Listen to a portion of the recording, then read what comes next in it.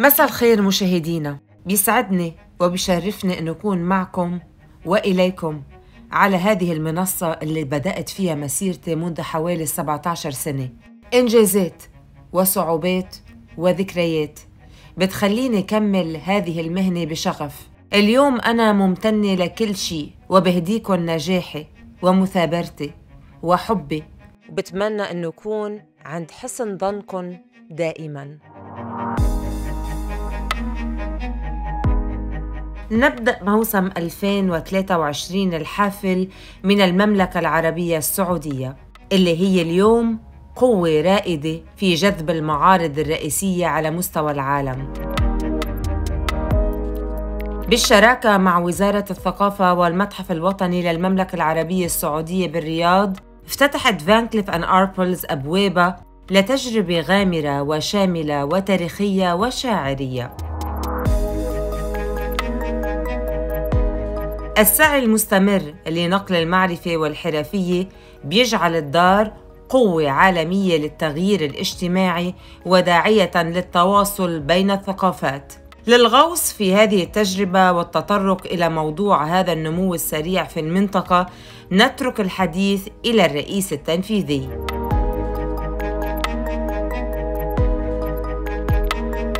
What's very striking today in Saudi Arabia is the speed at which the vision and the projects are actually coming to life.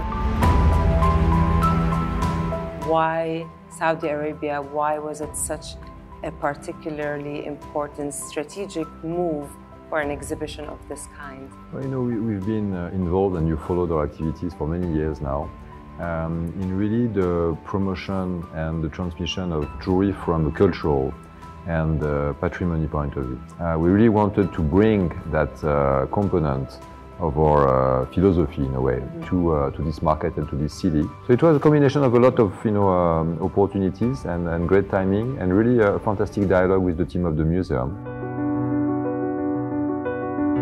Looking at the vision of 2030, how does that align with the mission of Van Cleef & Arpels today? As part of this vision for the country, there is a great deal of attention to culture and education.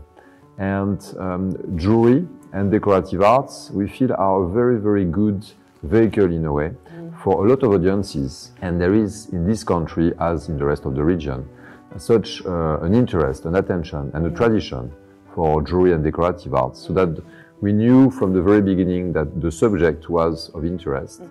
Then the whole process, which was very exciting, was really about how to bring the subject in the best possible condition. And here it's how to curate an exhibition, how to make the choices of pieces, how to uh, bring a whole set of educational programs around the exhibition, how to design the exhibition so that it's not uh, an exhibition for experts or specialists, but it's really It's uh, for everyone.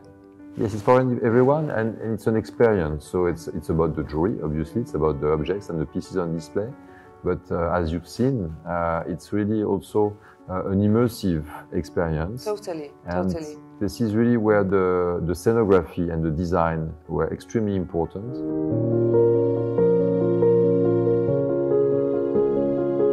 When I asked you in the press conference about the importance of this cross cultural dialogue, I did not quite feel it until I was actually in the museum when I saw the pieces, how they were curated. What, in your opinion, were the main kind of influences uh, within these particular chapters that we saw today in this exhibition?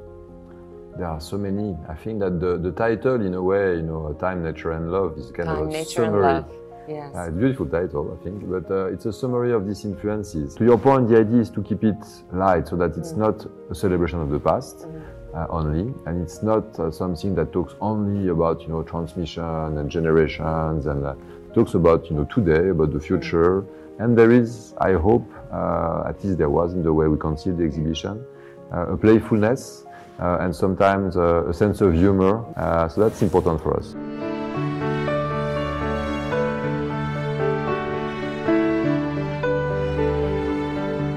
Hope that this exhibition would be to focus more uh, about the role of jewelry as a, as a cultural category of art rather than focus on you know the retail side or the marketing or selling the jewelry and this exhibition is dedicated to that to transmitting knowledge uh, uh, and celebrating education and your role as a brand in this industry.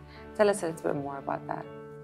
I think it's really true for a lot of our initiatives. Yeah. We, we believe, and I strongly believe for a long time, and we discussed that in the past, that um, jewelry is a fantastic artistic category. And that aspect has sometimes been forgotten or it deserves to be better known. Uh, of course, there is a commercial activity. Of course, there are brands, there are you know retail spaces, distribution networks, and sales. Uh, but at the end of the day, it's really about you know art and craftsmanship and tradition. And an exhibition like this one is an opportunity to show these pieces in a way that's completely disconnected from their financial value. There, nothing is for sale in the exhibition. You have in the same windows pieces that can be of tremendous value and pieces that can be uh, much more affordable. And it's not, it's not the point. The point is to show how jewelry translates emotions, inspirations.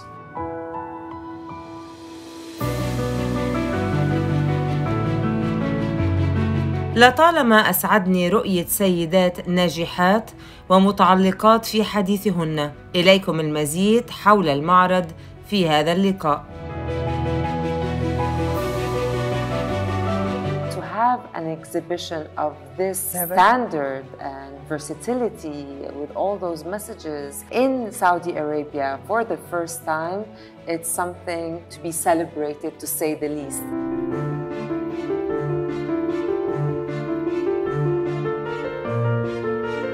My first obvious question would be how did this collaboration with Maison Van Cleef and Arpels start uh, on this particular project?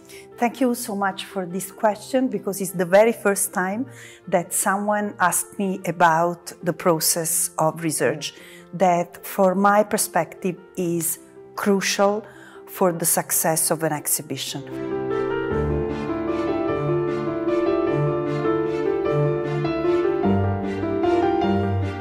I spent three years into the archives of the Maison looking for an inspiration because what was very clear to me was that I was not going to curate a very conventional exhibition. This was very clear for me at the very beginning, but I didn't know how to interpret such a glorious history of the Maison. I discovered some almost unknown pieces and finding innovation in an high jewelry maison is not easy at all because innovation is not requested to high jewelry.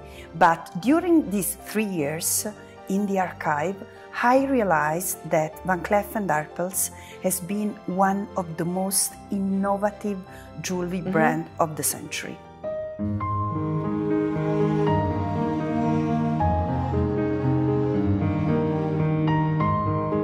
How do you identify over a century and a half of history? How do you pinpoint what were the key moments or key moments of innovations that changed a particular status quo at that time and bring it into 2023? Must be very. It, it has been difficult, difficult. to it say was, the least. Yes, but I was supported by the idea of time. I'm obsessed by time. During the research process, I was looking for the objects, important, less important, uh, daily objects with the ability to represent its time. My efforts were in trying to describe always this tension of the Maison between timeless and fashion, between innovation and investment. Mm -hmm. Never forget that a piece of jewelry is also an investment. Mm -hmm. So, very different context and very different fields.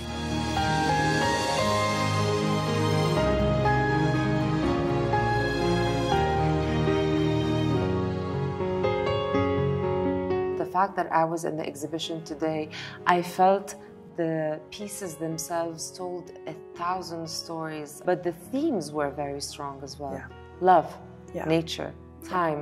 How did you go about navigating these three themes in such a modern way? At the very beginning, I always start all the exhibitions, all the books from the titles. I love words.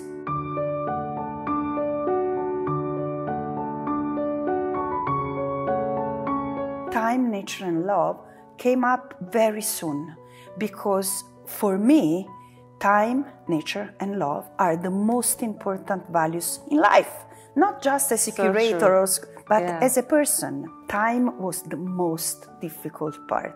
How can we interpret time? One of my favorite books is The Six Memos for the Next Millennium by Italo Calvino. Mm.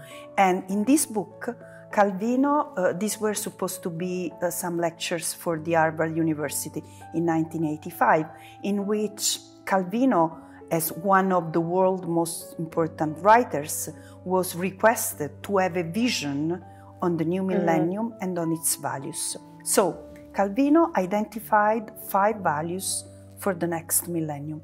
And I realized that these five values are the main values of our time and are also perfectly matching with the Maison.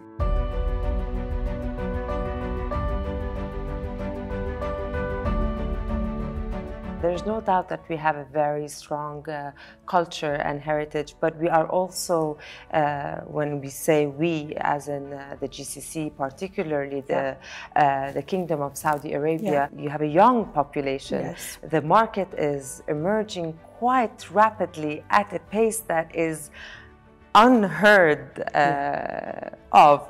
Did you take that into consideration while you were preparing for this exhibition? That most of these young talents that are hungry for arts are going to be among the visitors and they will be learning. I am From the this head- experience. Absolutely. Uh, my first objective are young people and new generation. I am a scholar, I am a professor. I have devoted my whole life to young people. My hope and my wish is that young people looking at this jewelry, looking at this exhibition, can understand that jewelry is not just exclusivity, but can be many different things, contents, and Actually, value. you made the experience very much inclusive. yes, And this is Yeah. really amazing. Yes. Uh, it's definitely one of the best experiences I've had in the Kingdom of Saudi Arabia.